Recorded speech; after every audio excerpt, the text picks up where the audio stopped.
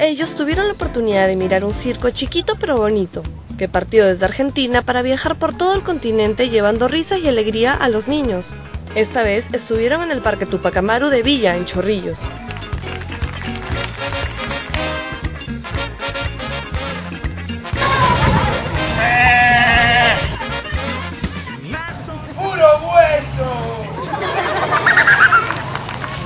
Ha hecho sonreír a la gente, a los niños. Chévere, divertido. Sí, ha, ha estado bien. Está bonito. Somos el circo por aquí por allá y lo que estamos haciendo es viajando con nuestro espectáculo. Venimos de Bolivia, ahora estamos aquí en Perú y nos estamos yendo para el Ecuador.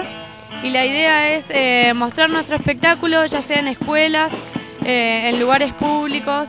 Digamos, intentar eh, llevar eh, el circo y, mm, y el arte a lugares por ahí donde no, donde no está llegando. Yo soy el domador. Así que voy a pedir que liberen a la fiera.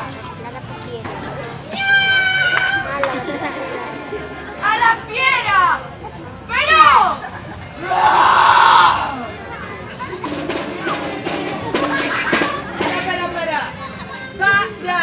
Decime una cosita. Vos, ¿te lavaste esa mano? No, acá no hay muchos circos así, así gratis que hacen.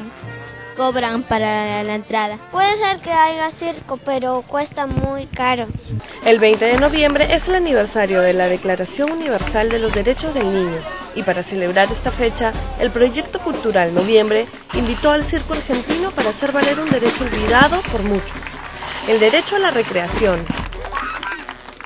Venimos desarrollando eh, la temática de lo que es este, la metodología de la no violencia, porque nos interesa básicamente trabajar en, en lo que es el aspecto de arte y cultura y a través de ellos como instrumentos para poder tener una plataforma de concientización ¿no?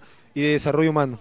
Y es que el entretenimiento que llega a los más pobres, ya sea en tele o circo, siempre es vulgar y grotesco. En lugar de educar, malogra.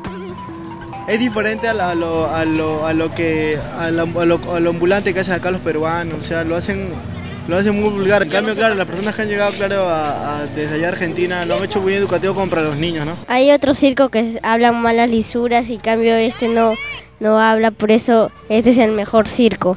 Y hacemos funciones en la calle porque nos gusta que toda la gente pueda ver las funciones y no solamente la gente que puede pagar una entrada, sino creemos que todos tienen derecho a la cultura. Entonces por eso hacemos funciones en las calles. Depende de ustedes y de, lo que, y de su valoración en la gorra que esto pueda seguir siendo así. Y a pesar de la mala economía, la gente supo apreciar el valor de este espectáculo y apoyaron con muchas ganas. Siempre quieres bailar. Gracias. Gracias, papito. Que les han dado plata porque les han gustado. Yo les deseo suerte en su viaje y que les lleve circo a todos los niños.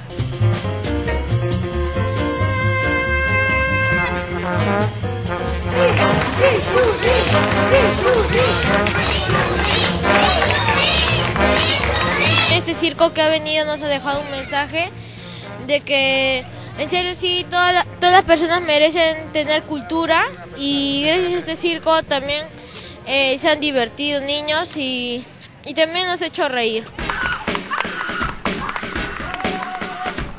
Y es que la diversión y el juego son muy importantes y los niños lo saben y Le exigen. pido de que traiga circos así, que traigan cultura y que ya no haya tanto egoísmo. A todos nosotros nos gusta